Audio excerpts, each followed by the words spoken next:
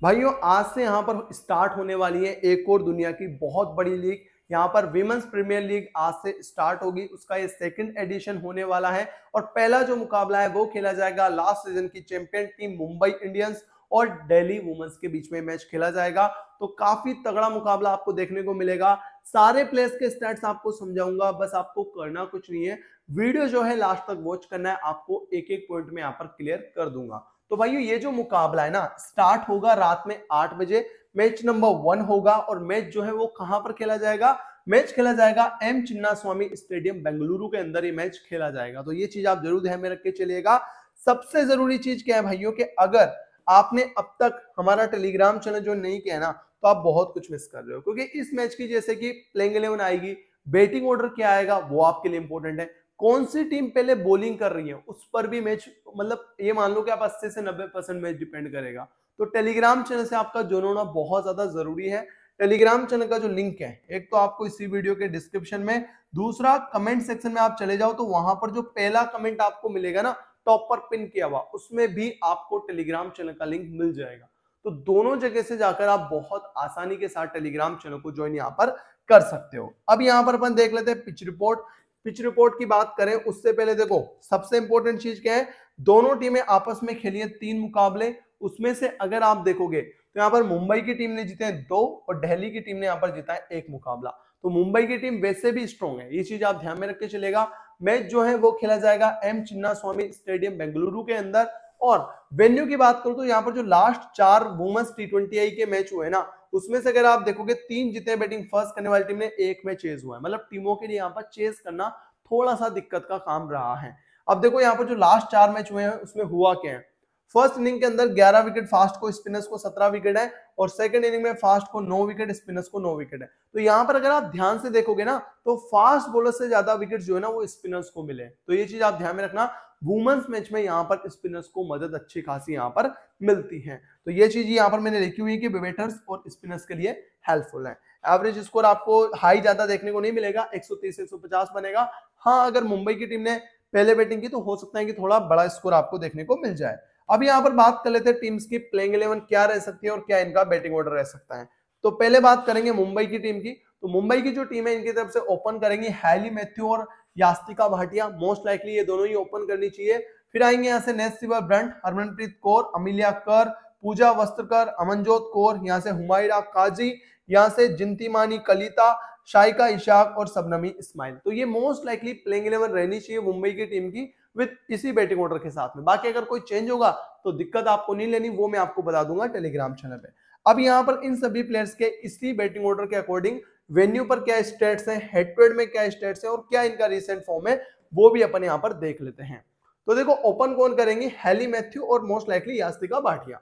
Hayley Matthews की बात करूँ तो देखो लास्ट सीज़न आप देखो हेड टू हेड में इन्होंने दिल्ली के खिलाफ ना तीन मैच में पचास रन किए और सात विकेट है। बहुत तगड़ा रिकॉर्ड है इनका दिल्ली के खिलाफ। वेन्यू पर ये खेली नहीं है और रिसेंट फॉर्म अगर आप इनका देखोगे, छियालीस एक विकेट उनतालीस एक विकेट चौदह ज़ीरो विकेट सत्रह दो विकेट बहुत कमाल का फॉर्म है इनका।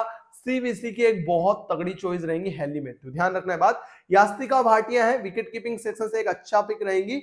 देखो टी ट्वेंटी करियर में चौतीस मैच में 505 रन है हेड टू हेड में दिल्ली के खिलाफ तीन मैच में छियालीस है रिसेंट फॉर्म 11 और 12 है। क्योंकि इनके अलावा जो बाकी ऑप्शन है विकेट कीपिंग सेक्शन में प्रियंका बाला वगैरह, वो उतने खास ऑप्शन नहीं है। तो यास्तिका भाटिया मेरे हिसाब से बेस्ट ऑप्शन है विकेट कीपिंग सेक्शन से फिर आएँगे यहाँ से Nat Sciver Brunt head to head में तीन मैच में तरासी रन, ज़ीरो विकेट है दिल्ली के खिलाफ, और इस वेन्यू पर भी ये एक मैच खेल चुकी है, उसमें सत्ताईस रन किए थे और विकेट लेस गई थी। और नेस्ट सिवर ब्रंट का रिसेंट फॉर्म भी बहुत तगड़ा है, बत्तीस एक विकेट छत्तीस दो विकेट सतहत्तर एक विकेट सोलह एक विकेट बिल्कुल आपकी टीम में होनी चाहिए। Harmanpreet Kaur head to head में तीन मैच में इकहत्तर है वेन्यू पर पाँच मैच में अंठानवे, उन्नीस का ही एवरेज है। रिसेंट फॉर्म इनका बहुत ही ज़्यादा वाहियात है, आप देखो नौ छह, नौ बैटिंग छह, तीन मतलब सिंगल डिजिट में इनके स्कोर रहे हैं। तो उतना खास रिकॉर्ड इनका नहीं है। मिलियाकर बहुत तगड़ी ऑलराउंडर प्लेयर है न्यूजीलैंड की प्लेयर है ये। हेड टू हेड में तीन मैच में 22 रन, दो विकेट है दिल्ली के खिलाफ। और रिसेंट फॉर्म आप इनका देखो एक बार, बहुत तगड़ा फॉर्म है। तिहत्तर नोट आउट दो विकेट अड़तालीस, दो विकेट और पैंतीस ज़ीरो विकेट है। फिर आएँगे यहाँ से पूजा वस्त्रकर। अगर इनकी टीम पहले बॉलिंग करती है तो पूजा को आप ट्राई कर सकते हो। बाकी हेड टू हेड में रिकॉर्ड उतना खास है नहीं। तीन में छब्बीस, एक विकेट है। वेन्यू पर यह भी नहीं खेली। रिसेंट फॉर्म छह एक विकेट ज़ीरो विकेट नौ एक विकेट और सात दो विकेट है। तो यहाँ से जो इनके पहले छह प्लेयर है ना, मुंबई के, इनमें से कौन से प्लेयर इंपॉर्टेंट है? हेली मैथ्यू इंपॉर्टेंट है यास्तिका भाटिया, क्योंकि विकेट कीपिंग सेक्शन में ज़्यादा कुछ खास प्लेयर है नहीं तो इंपॉर्टेंट है। नेक्स्ट सिल्वर ब्रंट को आप बिल्कुल मिस नहीं करना चाहोगे, और इनके अलावा अमिलिया कर भी आपके लिए इंपॉर्टेंट है। पूजा वस्त्रकर को आप बॉलिंग फ़र्स्ट में ट्राई कर सकते हो। बाकी अभी के लिए मैं ये चार प्लेयर जो है ना, पहले छह में से ये यहाँ पर पिक करने वाला हूँ। अब यहाँ पर जो इनके नेक्स्ट प्लेयर है प्लेइंग इलेवन के, उनकी बात करेंगे। तो नंबर सात पर आएँगे अमनजोत कौर। इनके नाम अगर आप देखो तो last season head to head में तीन मैच में उन्नीस रन थे। रिसेंट फॉर्म तेरह दो विकेट एक विकेट चार ज़ीरो विकेट सत्रह नोट आउट है। ठीक ठाक सी प्लेयर है, उतनी ज़बरदस्त प्लेयर नहीं है। हुमायरा काजी टी ट्वेंटी के अंदर दस मैच में आठ रन है। हेड टू हेड में तीन मैच में दो रन है। रिसेंट फॉर्म चार दो no batting no batting no batting है। उतना खास रिकॉर्ड नहीं है यहाँ से। आएँगे जीती मानी कालिता। लास्ट सीज़न जो दस मैच पूरे खेली थी ना, उसमें पाँच रन थे और एक विकेट था। हेड टू हेड में अगर आप देखोगे, तीन मैच खेली है डिड नॉट बैट है। ना बैटिंग मिली, ना बॉलिंग इनको मिली है। रिसेंट फॉर्म तीन नो बैटिंग नो बैटिंग एक विकेट नो बैटिंग है। शाइका इशाक एक बहुत अच्छी स्पिनर है, जो कि मेरे हिसाब से आपकी टीम में होनी चाहिए। हेड टू हेड में, देखो हेड टू हेड में यहाँ पर ना तीन मैच में इनके नाम तीन विकेट्स हैं ये। ध्यान रखना, तीन मैच में तीन विकेट्स है और टी ट्वेंटी करियर में तेरह मैच में बीस विकेट है। रिसेंट फॉर्म ज़ीरो विकेट एक विकेट एक विकेट और तीन विकेट है। और लास्ट प्लेयर इनकी तरफ़ से नंबर ग्यारह पर आएँगी सबनमी इस्माइल, जो कि एक बहुत अच्छी बॉलर है। हेड में दो मैच में तीन विकेट है। वेन्यू पर दो मैच में एक रन एक विकेट है। रिसेंट फॉर्म दो विकेट ज़ीरो विकेट एक विकेट दो विकेट और एक विकेट है। तो यहाँ से जो मस्ट पिक चॉइस है आपके लिए बॉलर्स में से, देखो, चार प्लेयर अपन ने पीछे इनकी तरफ़ से रखे और यहाँ से इंपॉर्टेंट है शाही का इशाक, बहुत अच्छे स्पिनर बिल्कुल आपकी टीम में होनी चाहिए और सबनबी इस्माइल भी बिल्कुल आपकी टीम में होनी चाहिए। तो टोटल छह प्लेयर जो है यहाँ पर मैं अभी के लिए मुंबई की टीम से यहाँ पर पिक करने वाला हूँ। अब देख लेते हैं इनके बेंच के प्लेयर्स के स्टेट्स और स्टार्टिंग डेथ ओवर्स तो देखो ये इनके बेंच के प्लेयर्स के स्टेट्स है, वो भी मैं आपको बता देता हूँ ताकि अगर कोई भी खेले तो आपको दिक्कत ना हो। क्लोइट राइन साउथ अफ्रीका की प्लेयर है। इन्होंने देखो हेड टू हेड नहीं खेला है क्योंकि पहली बार खेल रही है और टी करियर में एक सौ उनसठ मैच में दो हज़ार रन, पचपन विकेट है। वेन्यू पर दो मैच में तेईस रन है। रिसेंट फॉर्म उनतालीस ज़ीरो विकेट बारह ज़ीरो विकेट चार ज़ीरो विकेट छब्बीस एक विकेट है। खेलेंगी तो इंपोर्टेंट रह सकती है।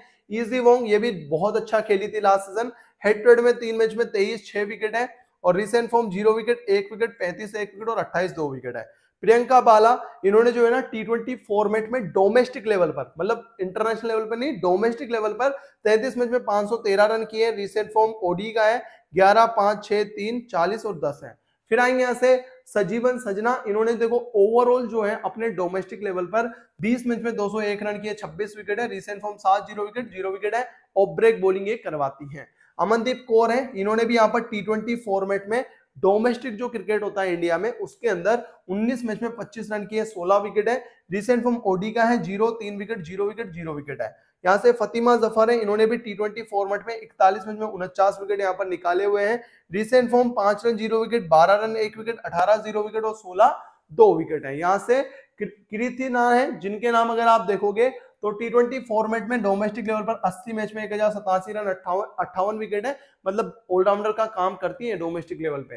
रिसेंट फॉर्म ज़ीरो तीन विकेट पाँच ज़ीरो विकेट उनतालीस ज़ीरो विकेट और अठारह तीन विकेट है। तो सारे प्लेयर्स के स्टेट्स मैंने आपको बता दिए बेंच के भी, ताकि कोई भी खेले तो आपको दिक्कत यहाँ पर ना हो। अब इनकी तरफ़ से अगर आप देखोगे ना तो मोस्ट लाइकली पावर प्ले में आपको बॉलिंग करवाती नज़र आएँगी सबनमी इस्माइल सिवर, ब्रंट और साइका इशाक। और डेथ के अंदर आपको बॉलिंग करवाती नज़र आएँगी, सबनमी इस्माइल, पूजा वस्त्रकर और नेट सिवर ब्रंट तो ये तो बात हो चुकी है मुंबई की टीम की। अब बात करेंगे अपन दिल्ली की टीम की कि उनकी टीम का क्या प्लेइंग इलेवन मोस्ट लाइकली रह सकता है और क्या इनका बैटिंग ऑर्डर रह सकता है। तो दिल्ली की जो टीम है, इनकी तरफ़ से ओपन करनी चाहिए सफाली वर्मा और मैगलेनिंग फिर आएँगी कैप्सी, फिर Jemimah Rodrigues Marizanne Kapp, Annabel Sutherland, Taniya Bhatia, Minnu Mani यहाँ से शिका पांडे, राधा यादव टिट्सा सद्दू तो ये मोस्ट लाइकली इनकी प्लेइंग इलेवन रह सकती है विद बैटिंग ऑर्डर अब यहाँ पर इन सभी प्लेयर्स के इसी बैटिंग ऑर्डर के अकॉर्डिंग अपन स्टैट्स भी देख लेंगे, जिससे अपन को कोई भी डाउट यहाँ पर ना रहे। तो देखो ओपन कौन करेंगे मोस्ट लाइकली सफाली वर्मा और मैगलेनिंग जो कि ऑस्ट्रेलिया की प्लेयर है।